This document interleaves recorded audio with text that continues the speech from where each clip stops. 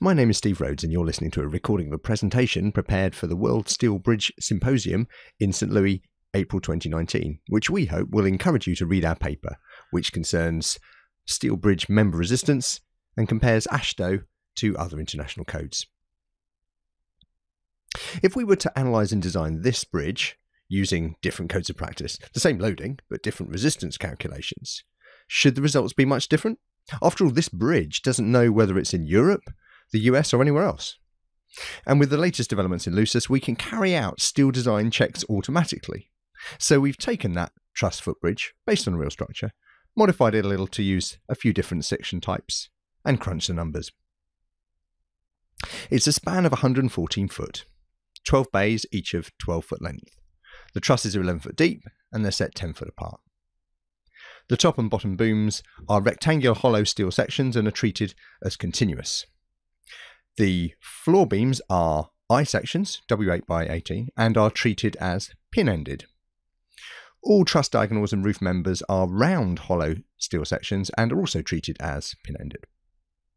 Steel grade is ASTM A500 grade C for all the hollow sections and AASHTO M270 grade 50 for the W beams.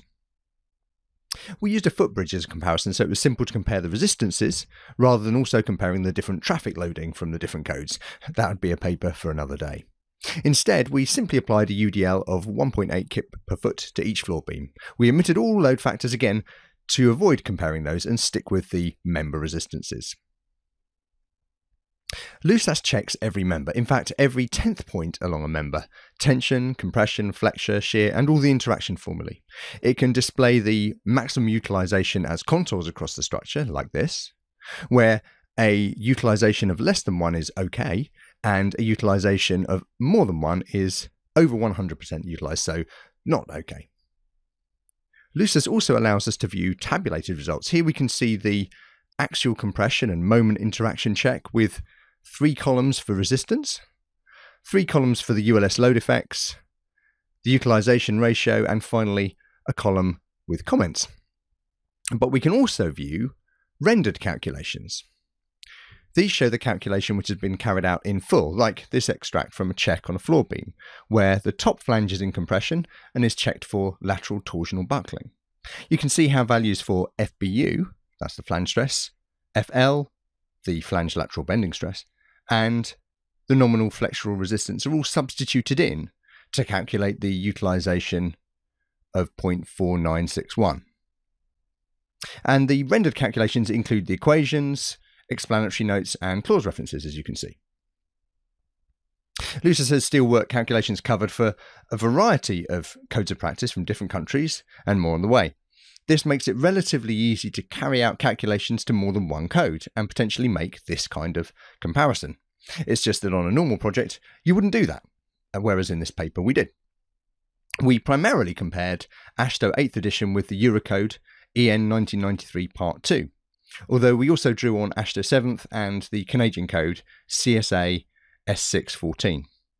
Then we took the time to unravel the differences, and it was possible to understand those differences between the codes to a deep level because we had the guys who programmed the software for them all on the team. So, what did we find? This is a half and half plot. You can imagine, if you like, that the Atlantic has been reduced to 114 foot, and we've agreed to build a bridge using AASHTO up to midspan and then Eurocode for the other side. The colours show the utilisation according to the two codes, so anything red is unsafe according to the relevant code of practice. So on the US side, everything is safe, but on the European side, people are scared to cross this bridge. And the issue is up there in the compression chord. But in fact, everywhere in the bridge, the utilization for compression members are higher for the Eurocode as compared to AASHTO. It just comes to a head at midspan in the top chord, where the Eurocode finds the rectangular HSS to be more than 20% overutilized. The governing check for these members is axial compression, buckling with flexure, although there is very little flexure in the top chord. So the underlying difference is due to buckling in axial compression. In AASHTO Article 69411, non-slender members have a nominal compressive resistance, Pn, which is determined from the yielding resistance, PO, and the elastic critical buckling resistance, PE. That buckling resistance, PN, is in fact based on the SSRC strength curve 2P as illustrated in Galambos. The curve used is technically only applicable to certain classes of member, and it assumes an initial out of straightness of length divided by 1500. In the Eurocode, the buckling resistance NBRD is again determined from the yielding resistance, here the cross sectional area times the yield stress, and this is multiplied by a reduction factor, xi, which is at heart based on the elastic critical buckling resistance, NCR, which is essentially the same as PE in AASHTO, an imperfection factor, alpha, which is selected based on the shape and fabrication of the member, and a set of buckling curves. The formula given essentially replicates these various curves. It's a more elaborate approach than AASHTO, and one assumes that these curves drew on the latest research data at the time of drafting of the code, which was first issued in 2004, whereas the SSRC curves come out of studies at Lehigh, published in 1971. Given all this, it would be reasonable to expect the Eurocode to be more realistic, probably less conservative. But it's not, it's more conservative. Does that mean that the Eurocode is over conservative? Or that AASHTO is, compared to more recent research, perhaps unconservative? Well, if we consider an H section rather than the hollow section and look at a simple pin ended strut, first we can confirm an Euler calculation and a finite element eigenvalue using LUSAS. Both of these give the same elastic critical buckling resistance, 262 kips. That's PE in AASHTO or NBRD in the Eurocode. With more material data, we can do the AASHTO check and we get a nominal compressive resistance of 230 kip, a bit below that, 262. With a full nonlinear analysis in LUSAS, material yielding and hardening, and geometric nonlinearity, we get a value which is staggeringly close 232 kip. But only if we use an imperfection of length over 1500 to match the SSRC curve. Do that, and the LUSAS nonlinear analysis agrees the AASHTO nominal capacity to within 1%. But do the same nonlinear analysis with larger imperfections, and you'll see the resistance dropping considerably below 232. So, perhaps the AASHTO buckling curves could use re examination. That assumed imperfection may be completely fine, but is it supposed to take into account residual stresses as well as initial out of straightness? Does it do that as well as the Eurocode does? Now, for the members in this structure, compression checks are of interest for the top boom, rectangular hollow sections, the truss diagonals, the round hollow sections, and the roof bracing diagonals, also round hollow sections. You'll see, however, that there is no contour colour for these roof members. They're shown as ghosts in magenta. That's because these members are disallowed under Article 693. That is, they're deemed by AASHTO to be too slender. There's no such slenderness limit in the Eurocode, and these roof diagonals have a utilisation of less than 10%. So, AASHTO okays the top chord, which is not okay in the Eurocode, but it disallows these roof diagonals, which the Eurocode reckons are not working hard at all. What's going on? Well, the slenderness limits in AASHTO are similar to the suggested limits in AISC 36016. And the AISC commentary indicates that these limits may relate to construction economics, ease of handling, and minimizing inadvertent damage. So instead of AASHTO being needlessly conservative here, perhaps we can say that the AASHTO rules impose a pragmatic limit, which, in fact, the Eurocode is lacking.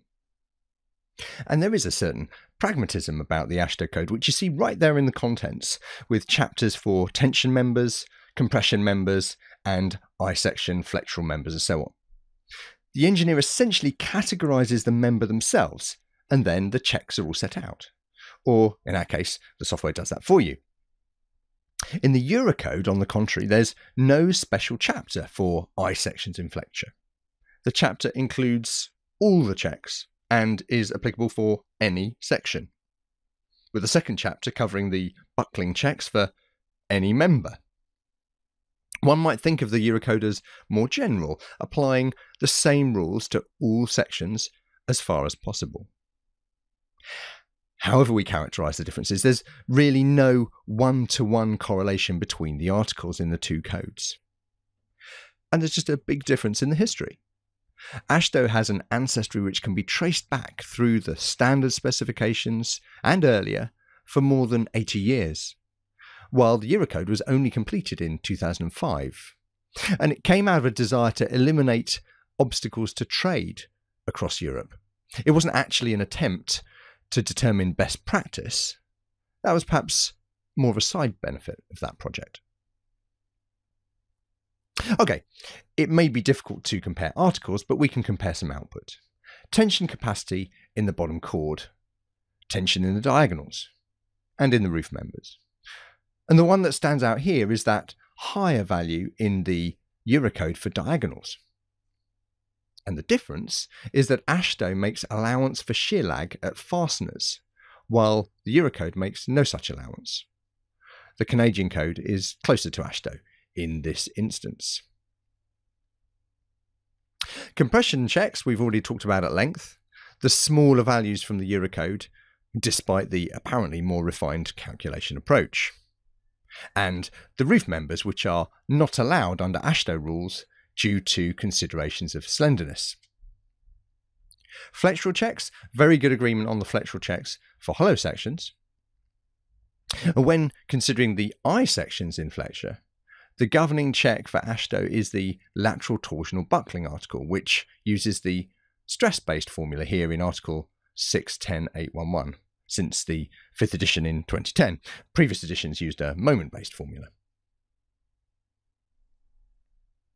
The Eurocode checks for flexure, of course, these are not specific to I sections. The same approach is used for all sections, and then the checks for buckling are in a separate chapter.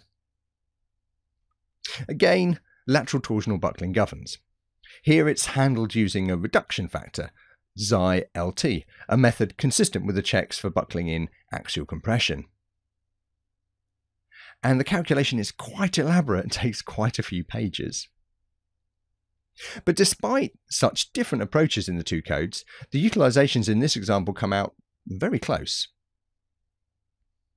In shear, the W8 by 18 floor beams are governed by plastic resistance, with the Eurocode giving the larger resistance after a more exhaustive or perhaps exhausting calculation to determine a suitable, larger in this case, shear area. The final utilizations which really matter aren't the basic checks on tension, compression, flexure, and shear. It's the interaction checks where these quantities can all be brought together. For bending and tension, all the codes in this study have a check, although the Canadian one doesn't account for biaxial bending. The Eurocode uses a bending resistance which is reduced in consideration of the tension stress. The AASHTO approach seemed most clear and rational for bending and compression. Buckling, again, all three codes offer a check. For bending and shear, the Eurocode and Canadian code both have an interaction check. The Eurocode uses a bending resistance where the strength of the material in the web is reduced in respect of the shear that it's carrying. AASHTO has no corresponding check. The AASHTO checks in general, there are a few articles, but they typically look pretty much like this one for bending and compression. There are some fixed factors involved, a half on the axial component or 8 ninths on the moment component. And the US code offers some relatively simple moment magnification formulae to take account of the second order effects too. The Canadian code has a more lengthy approach when it comes to determining those factors and moment magnifiers the caveats for the factors applied go on for a page or so. The Eurocode looks a bit different, but breaking it down, it's a similar summation. It includes a material factor. It also includes the reduction factors for buckling, the Xi factors, which we talked about before, for buckling based on those various curves and imperfections. It has those for both compression and for lateral torsional buckling. Then there are the additional moments arising from second order effects. The Eurocode insists that they are included, but it doesn't offer a simplified rule, an amplification factor, like AASHTO and the Canadian Code do. No, for this study, we use the geometrically nonlinear analysis functions in LUSAS to actually perform a full second order analysis. It wasn't hard, but it's something which the Eurocode seems to lead you towards because it doesn't suggest any other way. Finally, there are the interaction factors, the ones which are, you know, a half or eight ninths in AASHTO. In the Eurocode, there are two alternative methods, but they're both fairly much like this.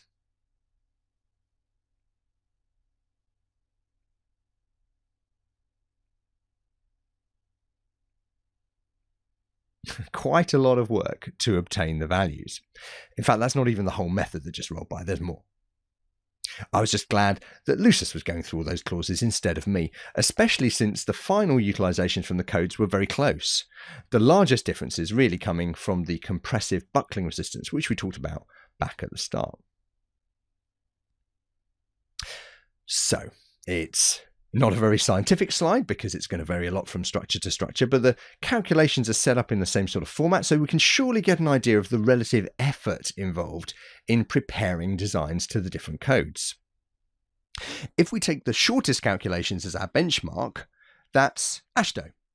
And for every 10 pages of AASHTO calcs, we had 12 pages of calcs to the Canadian code and 31 pages of Eurocode calcs. So the Eurocode did seem, in this case, to represent more calculation effort. Before we conclude, a couple of points that should be made about modelling a structure like this. Support conditions.